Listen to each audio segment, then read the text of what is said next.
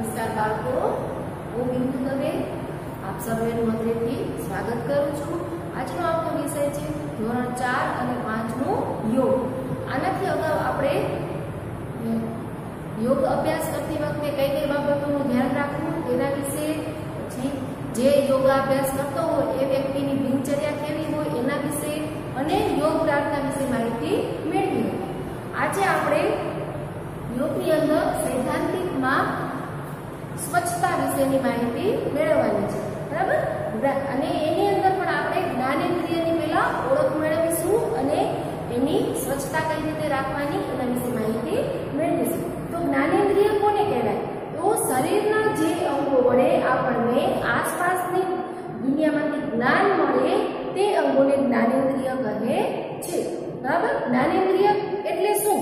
કે જે જે ઇન્દ્રિય, ઇન્દ્રિયથી આપણને આપણી આજુબાજુની દુનિયામાંથી જ્ઞાન પ્રાપ્ત થતું હોય એ બધાને જ્ઞાનેન્દ્રિય, એ બધી ઇન્દ્રિયોને જ્ઞાનેન્દ્રિય કહે છે.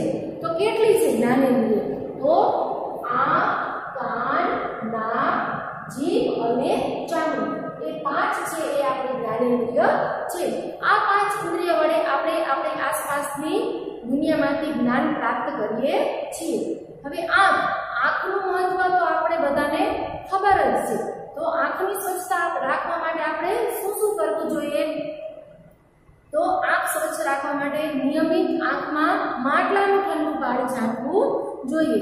પછી જ્યારે તમે વાંચવા બેસતા હો, ત્યારે લાઇટનો જે પ્રકાશ છે એ આપણી આંખ ઉપર ન પડે તેનું ધ્યાન રાખવું જોઈએ. કુદરતી વાતાવરણમાં આપણે ફરવું જોઈએ પૂરતી ઊંઘ લેવી જોઈએ, આરામ કરવો જોઈએ અને આંખની કસરત કરવી જોઈએ.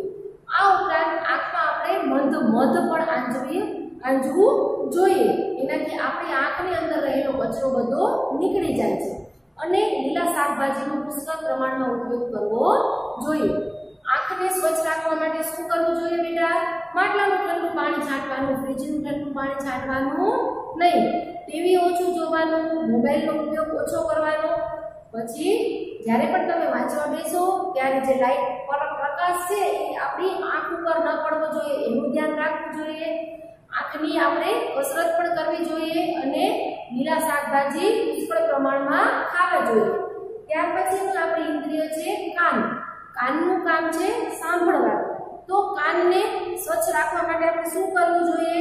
તો મૂળવાળી સાડીથી સાફ કરવું જોઈએ. કોઈ પણ વસ્તુ કાનમાં નાખવી જોઈએ નહીં. ધારવાળી વસ્તુ કાનમાં નાખવાથી આપણી કાનની અંદર જે પડતું હોય છે તે તૂટી જાય છે. એના કારણે આપણને સાંભળવામાં તકલીફ પડે છે. એટલે કાન સાફ કરવા માટે આપણે જે રૂ લગાવેલી સળી મળે છે, એનો જ ઉપયોગ કરવો જોઈએ. અઠવાડિયામાં એક વખત કાનમાં સરસવના તેલના ટીપા નાખવા જોઈએ. બરાબર? એક વખત અઠવાડિયામાં કાનમાં તેલનું ટીપું નાખવું જોઈએ. ભૂવો પાડીને બોલવું જોઈએ નહીં. એ ઘોંઘાટથી દૂર રહેવાનું બરાબર? આપણે બૂમો પાડીને બોલાય નહીં. અને ઘોંઘાટ એટલે ખૂબ બધો અવાજ થતો હોય એનાથી આપણે દૂર રહેવાનું. અને ભ્રામરી પ્રાણાયામ છે એ કરવાનું. ભ્રામરી પ્રાણાયામ કરવાથી આપણા કાનને ફાયદો થાય છે. ત્યાર પછીની ઇન્દ્રિય છે આપણી નાક. તો નાકનો સાફ કઈ રીતે કરવો જોઈએ તો રૂમાલ રાખવો જોઈએ, બરાબર? એક નસકોરા દ્વારા શ્વાસ લઈ બીજા નસકોરા દ્વારા બહાર કાઢીને નાક સાફ કરવું જોઈએ.